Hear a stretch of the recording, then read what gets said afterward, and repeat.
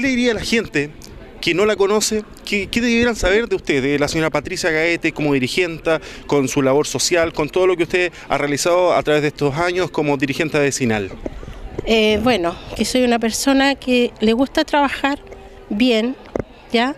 Eh, resolver algunos problemas de la comunidad, de cada vecino, y si no se puede, buscar, buscar siempre la solución.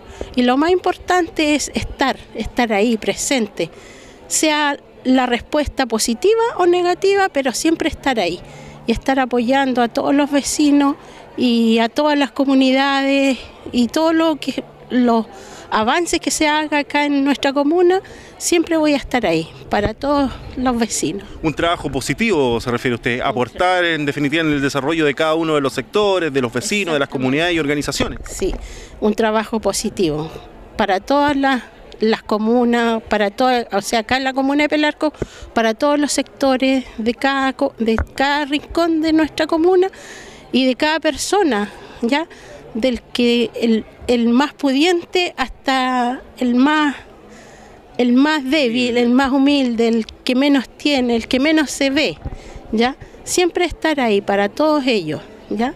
Siempre estar con un- una palabra de aliento, ya sea, no solamente uno puede estar en lo económico o en ayudarlo en cosas grandes, sino que solo en visitar y darle una palabra de aliento y tratar de poder solucionar el problema, ahí, estar ahí, siempre por, como digo yo, eh, Patricia siempre presente ahí, en cada rincón. Ya tiene el lema, señora Patricia, agradecerle sus palabras, desearle todo el éxito del mundo y que los vecinos gracias. también la apoyen a usted porque conocemos eh, el trabajo que usted realiza y que ha realizado en San Bernardino por sus vecinos y todo lo que usted realiza en materia social por la comuna. Exactamente, lo hago por los vecinos y también eh, por todos nosotros, por todo el pueblo de Pelarco, que por lo menos se destaque y sea un pueblo eh, de todas las personas que estén contentas, alegres en su, en su sector, ¿ya?